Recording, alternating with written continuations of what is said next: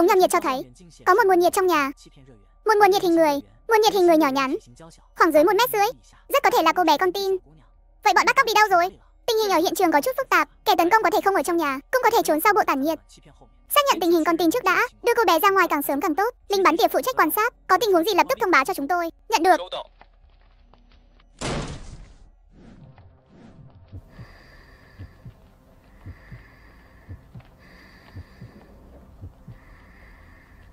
Là tin, nghe đội chuyên gia nói. Đây là một vụ bắt cóc rất nghiêm trọng. Có liên quan đến vụ án Bạch Kim, nhưng bây giờ con tin được đặt ở đây trong tình trạng an toàn. Xung quanh không thấy bóng dáng của tên tội phạm. Xảy ra chuyện gì vậy? Vừa mới phá cửa động tĩnh lớn như vậy, đứa bé này vẫn chưa tỉnh, đang trong trạng thái vô thức. Chắc là bị gây mê rồi. Lữ cục, chúng tôi đã tìm thấy con tin, không tìm thấy dấu vết của kẻ tấn công. Con tin có lẽ không sao. Tốt, tốt quá rồi. Chuyển con tin đi trước. Đưa cô bé đến bệnh viện kiểm tra, quay lại điều tra hiện trường, lập tức hành động. Nhận được. Tình hình trong nhà thế nào? Không phát hiện kẻ tấn công, con tin ở ngay đó. Như thể nó đã chuẩn bị cho chúng ta. Từ xác định vị trí đến giải cứu, không quá 5 phút. Hơn nữa không gặp bất kỳ tai nạn nào. Điều này kỳ quái, thông thường mục đích của kẻ bắt cóc hoặc giết người, hoặc tống tiền, hoặc thỏa mãn mong muốn gì đó. Vừa rồi cô bé đã được y tá kiểm tra, không tìm thấy vết thương nào.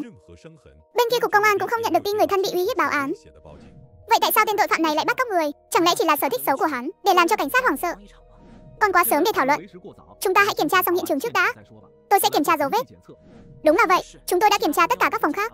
Chỉ có cái có hệ thống sưởi khóa không vào được. Tôi để tay súng bắn tỉa canh chừng ở vùng cao, không phát hiện người ra vào. Cửa sổ phòng bị khóa từ bên trong, không mở được từ bên ngoài và kéo rèm cửa lại, không nhìn thấy tình hình bên trong. Nói cách khác, đây là một căn phòng bí mật. Phá cửa đi. Khoảnh khắc mở cửa, một cơn gió ấm áp thổi vào mặt. Lữ Bình và những người khác nhìn thấy cảnh tượng trong nhà, đột nhiên cảm thấy tiếng sấm vang lên, chỉ thấy giới quạt ở giữa trần nhà, treo một người đàn ông bằng dây thừng, đầu nghiêng sang một bên, rõ ràng là đã lạnh lâu rồi. Lùi lại, mau lùi lại, đừng vào nhà, bảo vệ hiện trường. Thật là gặp quỷ rồi.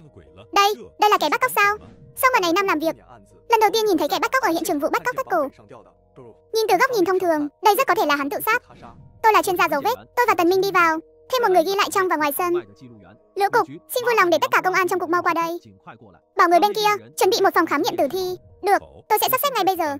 Kiểm tra đặc điểm, không cần đo nhiệt độ. Kẻ sát nhân đã bật lò sưởi lớn, phá vỡ tốc độ làm mát tự nhiên, sử dụng nhiệt độ cơ thể để ước tính thời gian chết, đã không chính xác rồi. Các khớp mềm mại, chưa hình thành vết xác, nhưng đã có dấu hiệu tụ máu rồi. Tử vong do thắt cổ, thời gian tử vong là từ 20 đến 50 phút. Không có dấu hiệu nhiễm độc, không có vết thương rõ ràng, cần khám nghiệm tử thi thêm. Lão Vương, tình hình bên kia của anh thế nào? Có hơi lạ. Lão Tần, cửa ra vào và cửa sổ của hiện trường đều bị khóa bên trong, không có dấu vết của ngoại lực. Theo lý mà nói, không ai có thể vào đây ngoại trừ người chết. Nói cách khác, đây là một căn phòng bí mật, phải không? Tôi đã kiểm tra thi thể. Tình trạng chết của anh ta rất phù hợp với mọi mặt tự sát. Ít nhất không thể loại trừ khả năng này. Nhưng vẫn còn một điểm. Bốn cửa sổ trong phòng.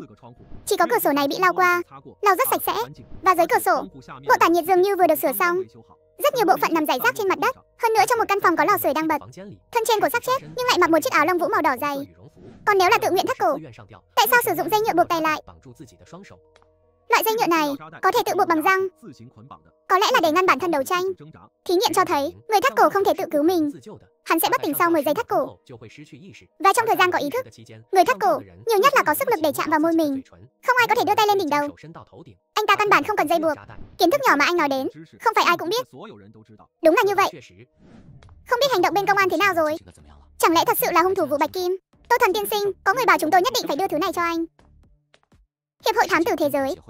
Một tấm thẻ màu đen, một chiếc điện thoại nắp cặp cũ, một huy hiệu của Hiệp hội thám tử, ngoài ra còn có giấy chứng nhận. Chúc mừng, Tô Thần tiên sinh đã lọt vào top 30 của thần thám danh châu Á, được chọn là thành viên của Hiệp hội thám tử thế giới, thẻ căn cước đặc biệt và công cụ liên lạc nội bộ. Tô Thần bỏ thẻ căn cước điện thoại và huy hiệu vào túi, đưa cái hộp cho người áo đen. Xin vui lòng giúp tôi mang nó về nhóm chương trình giữ lại. Sau khi chương trình kết thúc, tôi sẽ lấy nó. Tô Thần mở cái điện thoại nắp cặp cũ hết sức bình thường ra. Sau khi nhấn vài phím theo hướng dẫn sử dụng, hình ảnh trên màn hình đột nhiên một công nghệ nhận diện khuôn mặt. CPU 64 x 128 luồng, tần số tăng tốc có thể đạt 5,1 GHz. Pin hạt nhân vi mô có thể kéo dài 50 năm. Công nghệ đen này hơi thái quá. Phần mềm nội bộ hiệp hội thám tử thế giới, diễn đàn giao tiếp nội bộ của các thám tử thành viên, khu vực trao đổi thông tin giao dịch, khu vực thường truy nã, khu vực thông báo của hiệp hội thám tử thế giới. Tốt quá rồi. Bằng cách này có thể có được những phát hiện mới và thông tin nội bộ về vụ án Bách Kim. Diễn đàn này đã giải quyết được vấn đề cấp bách. Các đồng nghiệp, tôi là thành viên vừa đăng ký. Xin hỏi mọi người, tôi muốn biết tiến triển mới nhất vụ Bạch Kim, nên lấy nó ở đâu? Xem biệt danh, anh là Tô Thần phải không? Nhấp vào liên kết này và hỏi trợ lý nhân tạo là được rồi. Hãy chuyển sang trợ lý nhân tạo. Tôi cần thông tin về vụ Bạch Kim và tất cả thông tin mới được phát hiện. Giấy phép thông qua.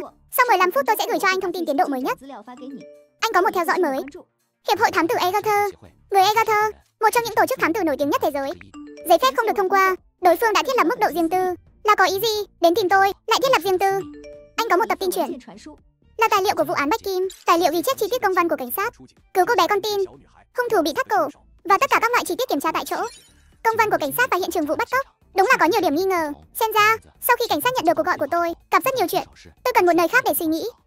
Để ủng hộ kinh phí cho kênh mọi người hãy subscribe và cày view hoặc donate cho mình nha mọi người. Cảm ơn mọi người đã xem và ủng hộ kênh.